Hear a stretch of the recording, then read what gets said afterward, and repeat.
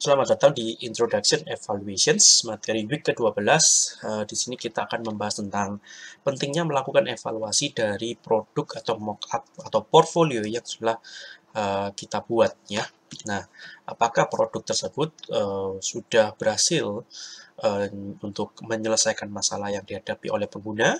Apakah produk yang kita buat uh, nyaman digunakan? apakah user mendapatkan user experience yang baik ketika memakai produk kita. Nah, pembahasan meliputi mengapa dan apa, kapan, serta e, bagaimana caranya melakukan evaluasi. Kita juga akan membahas berbagai macam jenis evaluasi dan berbagai contoh case study-nya dan apa yang bisa kita dapatkan dari masing-masing case study dan hal-hal lain yang perlu Anda perhatikan dalam melakukan evaluasi. Pada part 2, kita akan melakukan usability testing, melakukan eksperimen, dan melakukan field study. Oke, okay? Nah, kita masuk ke bagian yang pertama. Mengapa kita perlu melakukan evaluations, ya, perlu mengevaluasi.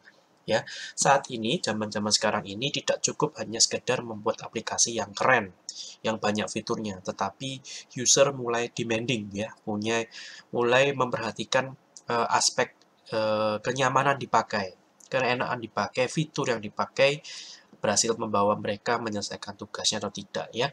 Dan setiap user punya perbedaan ya, setiap user punya uh, segmentasi yang berbeda. Nah, saya, saya contohkan seperti ini.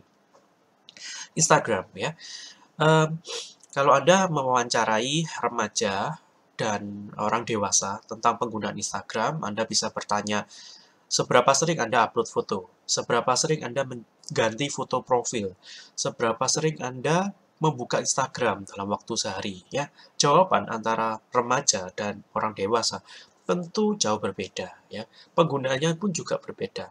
Mungkin orang dewasa adult buka Instagram untuk mempromosikan usaha mereka. Jadi mereka posting foto produk mereka ya. Dan mereka mungkin jarang-jarang akses uh, apa namanya Instagramnya berulang-ulang ya. Mereka hanya mengandalkan Instagram untuk promosi, sedangkan remaja membutuhkan media platform ini untuk eksis di dunia maya. Ya, ini contoh perbedaan antara uh, setiap user, ya, setiap segmentasi user. Sehingga di sini mengapa kita perlu melakukan uh, evaluasi ya, karena untuk mengecek kebutuhan user, setiap user berbeda, dan apakah mereka menyukai produk Anda. Ya, itu yang pertama, why-nya. Sedangkan what to evaluate, artinya apa yang harus dievaluasi ini bisa beragam ya misalkan uh, kita bisa mengevaluasi sejak low fidelity prototype. Mungkin di bagian low fidelity prototype yang bisa kita evaluasi adalah navigation workflow-nya uh, perpindahan antar page-nya task flow-nya gitu ya yang mungkin bisa dievaluasi di tahapan low fidelity. Uh, evaluasi juga bisa dilakukan di tahapan high fidelity high fidelity prototype atau real product bahkan ya untuk uh, high fidelity prototype dan real product yang dievaluasi adalah estetikanya ya desainnya warnanya tampilannya. Serta di sini kita untuk real product bisa mengevaluasi fitur yang tertanam di aplikasi safety feature dan uh, user experience. Oke. Okay? nah Uh, sebagai contoh, ini adalah musik player applications uh, yang bisa dievaluasi dari produk ini. Misalkan adalah apakah mudah menambahkan atau mengedit uh, musik ke dalam playlist kita, gitu ya. Mungkin juga apakah mudah untuk mencari lagu-lagu atau jenis musik tertentu ya di uh, final product ini. Uh, apakah tampilan dari aplikasinya terlihat baik, menarik gitu ya secara estetika. Serta apakah aplikasi menawarkan experience user yang lebih baik. Ya, contoh ada uh, playlist otomatis ya yang bisa uh, membuatkan playlist berdasarkan lagu-lagu yang kita sukai. Nah, itu contoh UX yang baik ya. Kemudian dari uh, website uh, e-commerce ya, contoh seperti ini yang dievaluasi adalah seberapa cepat kita bernavigasi antara melihat produk, halaman produk, membandingkan produk satu dengan produk dua, serta membeli produk ya, seberapa cepat. Itu yang bisa dievaluasi. Kemudian, apakah presentasi produknya yang ditampilkan di halaman produk ini menarik orang untuk membelinya atau tidak. Oke, yang tidak kalah penting adalah uh, apakah web ini terpercaya, aman untuk membeli di sini ya. Ini harus menjadi bahan evaluasi untuk final product. Oke, jadi poinnya adalah yang dievaluasi apa? Apa pun ya jawabannya ya. Sejak konseptual model bisa, prototype low fidelity, high fidelity, bahkan produk yang sudah jadi. Kemudian untuk where, where to evaluate, maksudnya di mana kita harus melakukan evaluasi. Ada dua tempat ya, ada dua cara. Yang pertama, uh, di tempat yang sudah kita setting ya, laboratorium yang sudah kita setting, uh, komputernya sudah kita siapkan, kemudian user atau audience, responden, menggunakan aplikasi atau komputer tersebut lalu kita uh, observasi ya.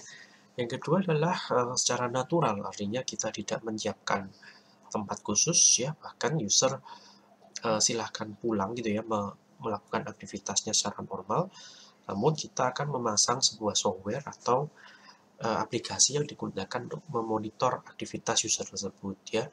Mungkin yang paling gampang untuk dicontohkan adalah aplikasi remote desktop ya. Misalkan contoh yang lihat di sini adalah Team Viewer, di mana user diminta untuk menjalankan aplikasi bahkan menjalankan aplikasi desktop ya lalu kita monitor dari tempat lain sehingga kita bisa tahu user tersebut uh, tingkah lakunya ya aktivitasnya terhadap aplikasi dan software kita seperti apa. Oke jadi intinya where adalah ada di ada dua ya secara natural ataupun sudah kita siapkan. Selanjutnya kapan evaluasi harus dilakukan ya? Jadi um, ada dua uh, teori yang mengatakan bahwa evaluasi untuk produk baru bisa dilakukan kapan pun gitu ya. Ya, jadi kalau kita mau bikin suatu aplikasi yang baru, produk baru, maka kebanyakan waktu kita habiskan di establishing requirements, kemudian menentukan eh, desain-desain aplikasi, arah aplikasi mau dibuat seperti apa, barulah kita melakukan prototype. Nah, lalu di setiap tahapan ini bisa ada evaluasi. Biasanya yang paling gampang sehingga tidak memakan banyak biaya, kita melakukan evaluasi di bagian prototyping ya, entah low fidelity atau high fidelity. Nah, untuk new product ini, evaluasi ini disebut formative evaluations. Evaluasi yang dilakukan di uh, seluruh bagian atau beberapa bagian dari step by step uh, pembuatan produk baru. Oke, okay? sedangkan untuk produk yang sudah ada, artinya kita ingin mengupgrade produk tersebut ya mengupdate produk tersebut, memperbaiki bug atau memperbaiki UX dari produk tersebut, maka kita pertama-tama melakukan evaluasi terhadap produk itu ya. Bagian apa yang perlu diganti, bagian apa yang perlu diubah, bagian apa yang perlu di-upgrade, kemudian kita membuat prototipenya. Tahapan ini tidak melihat establishing requirement lagi, tidak mementingkan designing alternatif, kita hanya menambahkan fitur, memperbaiki UX yang salah itu ya yang yang buruk ya ini disebut sebagai summative evaluation peduli pada evaluasi hasil akhir oke kita lanjutkan dengan eh, jenis-jenis uh, evaluasi. Ya tadi sudah disebutkan di depan bahwa ada uh, dua jenis ya yang Anda tahu. Evaluasi yang dilakukan secara controlled artinya kita setting ruang apa environmentnya um, dengan melibatkan user ya. Uh, control setting involving user ini biasanya berupa usability testing atau eksperimen di dalam laboratori atau living lab ya. Control setting ini uh, bagus untuk uh, reveal ya usability problem, masalah-masalah usability yang ditemukan, namun cukup buruk untuk mendapatkan real uh, real problem di kenyataan sehari-hari ya, karena semuanya serba kita setting. Kemudian jenis evaluasi yang kedua adalah natural setting, artinya uh, testing yang dilakukan secara uh, natural, tidak ada uh, settingan ya di user tersebut, artinya user memakai produk itu sehari-hari. Ya. Cuman masalahnya di sini adalah uh, ini ekspensif, mahal, serta agak susah dikendalikan atau uh, di kita rekam ya hasilnya. Namun, pro-nya adalah, keuntungannya adalah hasil yang diperoleh benar-benar mencerminkan kenyataan uh, aplikasi tersebut digunakan ya sehari-hari. Kemudian yang ketiga yang belum saya sebutkan sebelumnya adalah kita menggunakan expert atau orang yang ahli yang bertujuan untuk memprediksi uh, apa namanya hasil prototipe atau produk yang dievaluasi apakah sudah sesuai dengan requirement ya. Jadi kita menggunakan expert untuk memprediksi uh, hasilnya. Jadi hasilnya hanya berupa prediksi.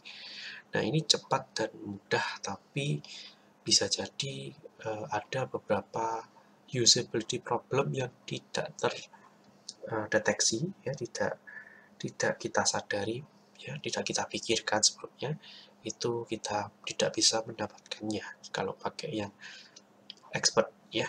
Jadi, ini tiga jenis evaluasi. Nah, untuk usability testing ini apa sih?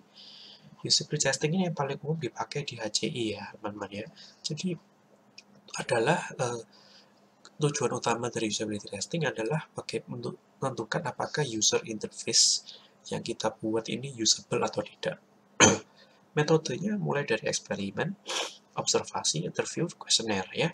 Eksperimen biasanya dipakai untuk membuktikan hipotesa kita benar atau tidak ya. Observasi kita merekam secara langsung uh, secara control setting ya uh, reaksi user, bagaimana user tersebut berinteraksi dengan aplikasi atau sistem kita. Interview dan questionnaire dipakai untuk menarik data kepuasan mereka terhadap sistem yang kita uh, teskan untuk mereka ya. Data apa yang dikolek untuk usability testing? Misalkan contoh ya, uh, berapa lama responden menyelesaikan pekerjaannya menggunakan aplikasi atau software kita ya. Dan berapa banyak error yang dihadapi oleh responden? Reaksi user ketika menghadapi error atau reaksi user ketika berhasil menyelesaikan tugas. Kita juga rekam reaksi mereka. Kemudian melalui interview dan kuesioner kita bisa mendapatkan satisfaction rating atau seberapa puas mereka dengan uh, software yang kita buat